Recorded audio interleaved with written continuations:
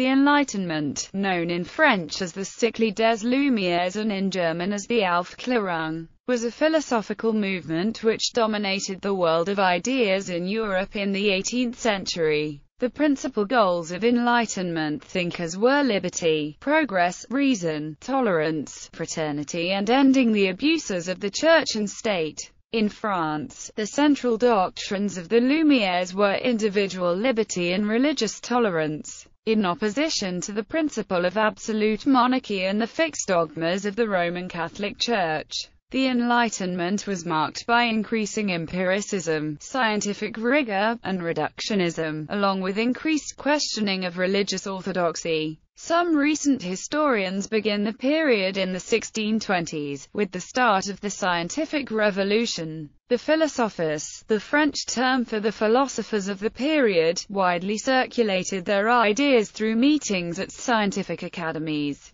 Masonic lodges, literary salons and coffee houses, and through printed books and pamphlets. The ideas of the Enlightenment undermined the authority of the monarchy and the Church, and paved the way for the revolutions of the 18th and 19th centuries. A variety of 19th-century movements, including liberalism and neoclassicism, trace their intellectual heritage back to the Enlightenment. The Age of Enlightenment was preceded by and closely associated with the scientific revolution. Earlier philosophers whose work influenced the Enlightenment included Francis Bacon, Descartes, Locke, and Spinoza. The major figures of the Enlightenment included Cesare Beccaria, Voltaire, Denis Diderot, Jean-Jacques Rousseau, David Hume, Adam Smith, and Immanuel Kant.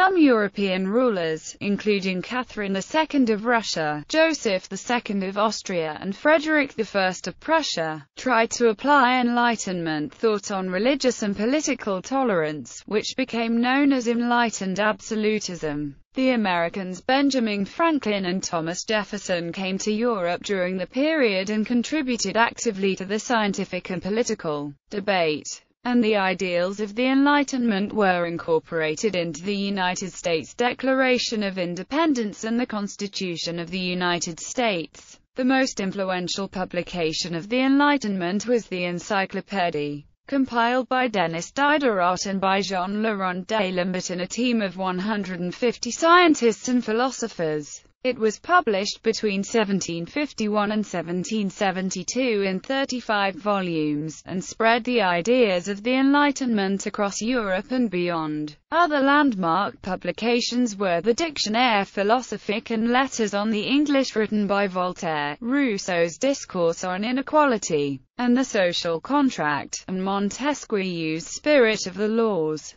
The ideas of the Enlightenment played a major role in inspiring the French Revolution, which began in 1789. After the Revolution, the Enlightenment was followed by an opposing intellectual movement known as Romanticism. Philosophy the philosophic movement was led by Voltaire and Jean-Jacques Rousseau, who argued for a society based upon reason rather than faith and Catholic doctrine, for a new civil order based on natural law, and for science based on experiments and observation. The political philosopher Montesquieu introduced the idea of a separation of powers in a government a concept which was enthusiastically adopted by the authors of the United States Constitution. While the philosophers of the French Enlightenment were not revolutionaries, and many were members of the nobility, their ideas played an important part in undermining the legitimacy of the old regime and shaping the French Revolution. There were two distinct lines of Enlightenment thought.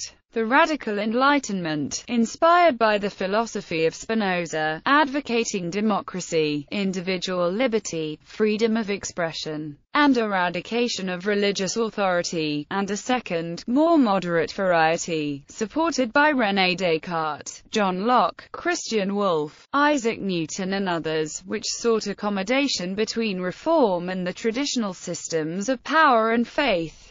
Both lines of thought were opposed by the conservative counter-enlightenment. Francis Hutcheson, a moral philosopher, described the utilitarian and consequentialist principle that virtue is that which provides, in his words, the greatest happiness for the greatest numbers. Much of what is incorporated in the scientific method and some modern attitudes towards the relationship between science and religion were developed by his proteges David Hume and Adam Smith. Hume became a major figure in the skeptical, philosophical and empiricist traditions of philosophy. Immanuel Kant tried to reconcile rationalism and religious belief, individual freedom and political authority, as well as map out a view of the public sphere through private and public reason. Kant's work continued to shape German thought, and indeed all of European philosophy, well into the 20th century. Mary Wollstonecraft was one of England's earliest feminist philosophers. She argued for a society based on reason, and that women, as well as men, should be treated as rational beings. She is best known for her work A Vindication of the Rights of Woman. Science Science came to play a leading role in Enlightenment discourse and thought.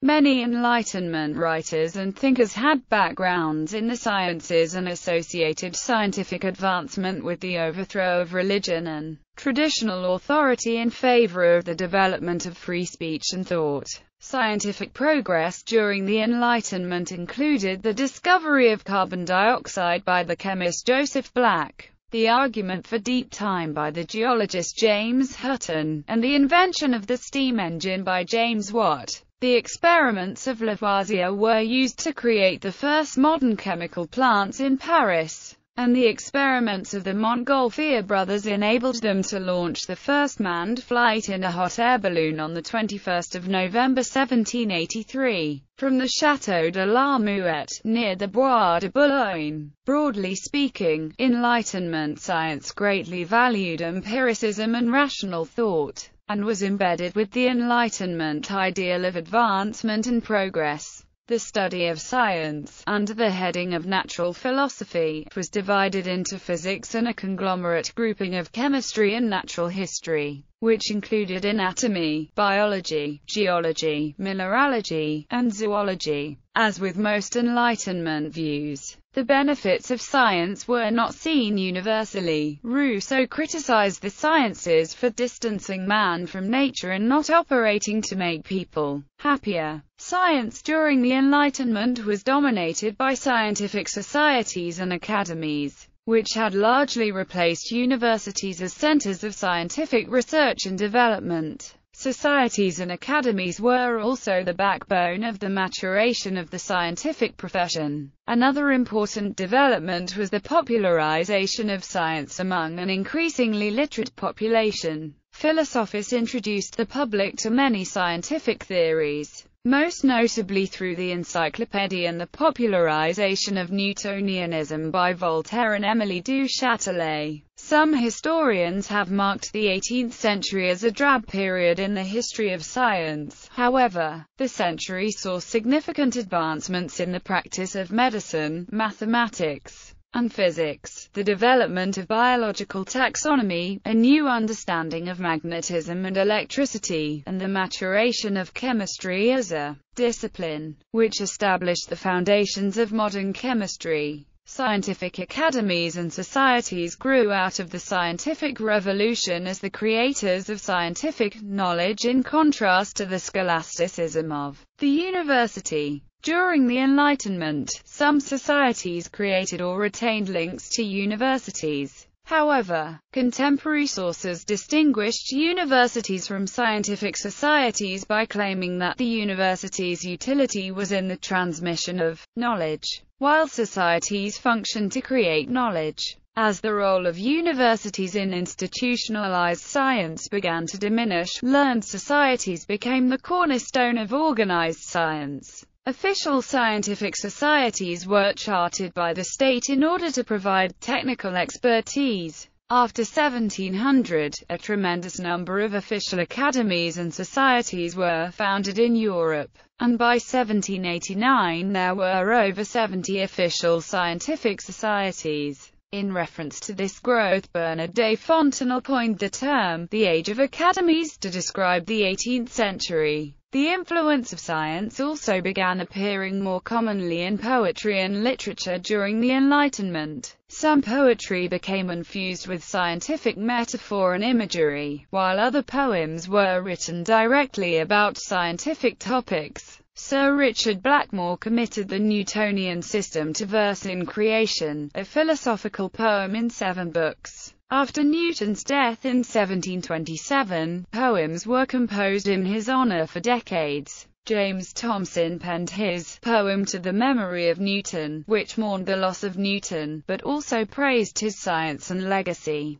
Economics and law. Hume and other Scottish Enlightenment thinkers developed a science of man which was expressed historically in works by authors including James Burnett, Adam Ferguson, John Millar, and William Robertson, all of whom merged a scientific study of how humans behaved in ancient and primitive cultures with a strong awareness of the determining forces of modernity. Modern sociology largely originated from this movement, and Hume's philosophical concepts that directly influenced James Madison and as popularized by Dugald Stewart, would be the basis of classical liberalism. Adam Smith published The Wealth of Nations, often considered the first work on modern economics. It had an immediate impact on British economic policy that continues into the 21st century. Cesare Beccaria, a jurist and one of the great Enlightenment writers, became famous for his masterpiece of Crimes and Punishments,